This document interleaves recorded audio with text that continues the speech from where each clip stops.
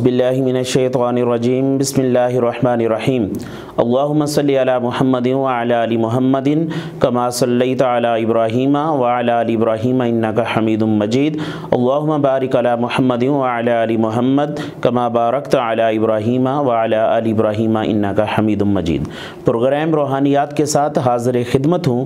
آج کا روحانی وظیفہ ہے یا قیومو جس کے معنی ہے اے ہمیشہ قائم رہنے والے.